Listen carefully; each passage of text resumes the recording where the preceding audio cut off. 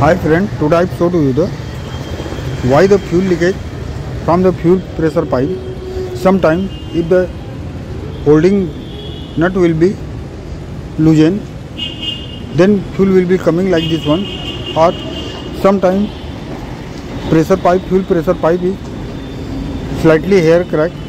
You cannot see the visually.